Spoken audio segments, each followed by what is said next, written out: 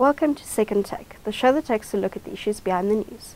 The National Council of Provinces voted to pass the Electricity Regulation Amendment Bill this week. Terence Creamer joins me to discuss the significance of this development. Hi, Terence. What is the background to this bill and why is it significant? Well, the long background to this bill is it goes back to the 1998 white paper, which said we were going to have a industry that's uh, was an unbundled industry of generation, transmission, and distribution, and there was going to be then some form of competition, especially at the uh, generation level, but potentially also at distribution, which is dominated by Eskom and municipalities. So that's the long background, but in the more immediate past, it's really been the intensification of load shedding and efforts around that to get a more sustainable electricity supply industry into the future.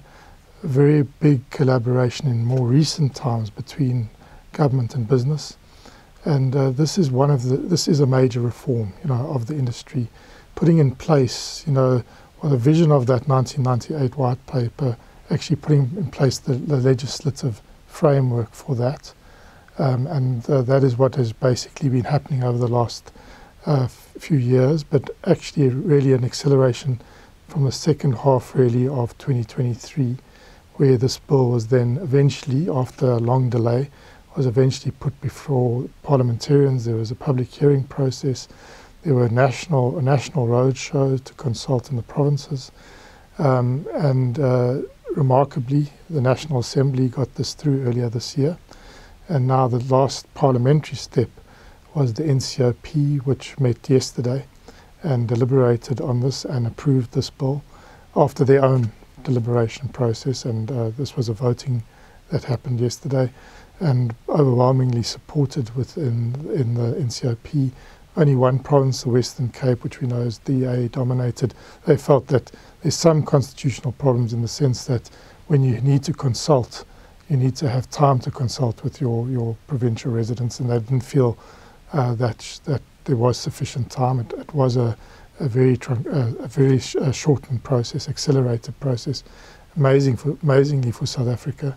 And basically, what we have now is uh, a, a, legislation that can ascend to the union buildings for the president's uh, signature.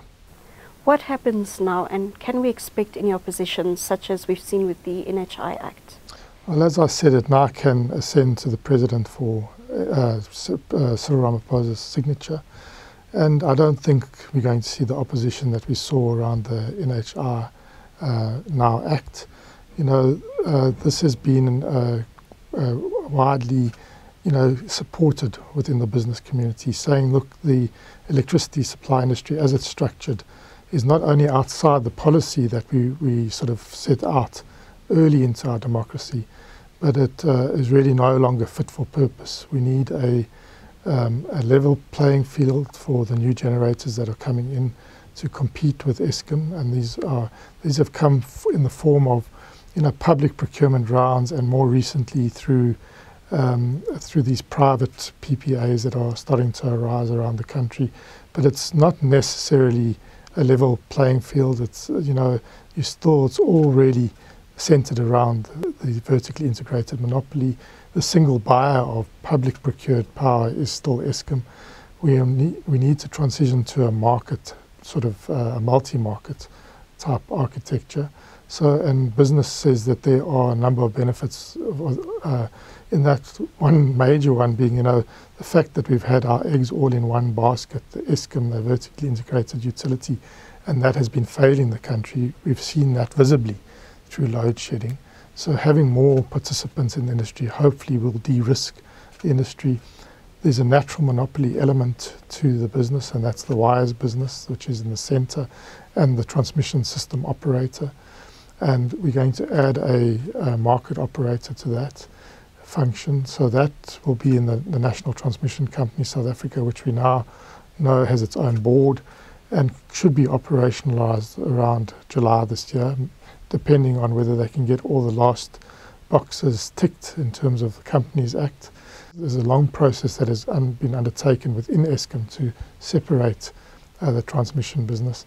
And then obviously uh, attention will fall uh, more and more to the distribution side, where Eskom is a major player, but where there's a lot of failure in the system, particularly the, in certain municipal uh, jurisdictions. Some uh, households are just unable to access power that they used to access, and now for months on end. Uh, so there has to be much more attention on that level.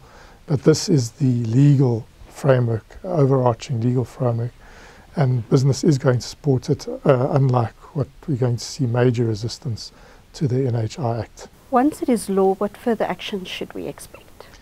Yeah, I think we're really now only at the end of the beginning in reforming this electricity supply industry and making it fit for purpose in a world where the technologies are changing massively. You know, we were a heavily, vertically integrated model was perfect for large coal-fired power stations, large transmission grids, and a large consumer base, a minerals and energy complex, the mines, the smelters, the refiners that needed this power. And so this, it was all very suited towards that world. That world is changing rapidly uh, with technologies on the generation side that are much more, much more scalable, smaller, uh, are much easier to distribute around the country and don't have to be around a, a single uh, resource like coal. So we are going to be already seeing that 5,000 megawatts of solar on rooftops, on company and household rooftops already, and that's going to grow in a country uh, blessed with such good uh, solar resource. So that has to be managed, and it, managing it through a vertically in, uh, integrated monopoly structure is not the way to go, and we it's, it creates, it's going to create new risks in the system. We have to have a, a much more agile and nimble uh, way of approaching that, both at the, the, the, transmission system operator and market operator level, which is what we're going to see inside the NTCSA, at least initially, and at the distribution end. And this, uh, so, so we're now going to see a lot of work, deep work, around getting the regulations right, about getting the market codes right, so that we that we can de-risk this because this is a major, it's a once in a, a, sort of generation change. You know, this is a, a, a change that we haven't seen. You know, Eskom is over 100 years old, built on that vertically integrated model. This is a major change from that 100 year model that's been in place. So there are going to be risks, and we're going to have to manage these as we go. And it's going to require a lot of diligence, a lot of consultation, and learning by doing and being willing to change. This can't be the end state. I think we're going to have to see further amendments to the, the regulatory uh, legislation and probably further uh, amendments, well, definitely to regulation, to possibly other legislation as we go. So we're really at the end of the beginning, but we are, I think, directionally, you know, we're aligning ourselves to a, a new, the new world of electricity supply industry. We're hopefully going to have a competitive market in generation that ultimately makes electricity. You know, we've had artificially low tariffs, which have spiked, you know, uh, over the last uh, 10 years and a bit, and now maybe getting are getting to the point of unaffordability. But hopefully, you know, these new technologies will at least cap that steep rise that we've been seeing if we're not going to see a, a, decrease in prices. I don't think uh, we should see this as a definite signal that we're going to see a decrease in prices. I think there's a lot of you know, costs in the systems that are not properly visible. And as those become visible, the regulator is going to have to make consumers or the government, the taxpayer, pay for those.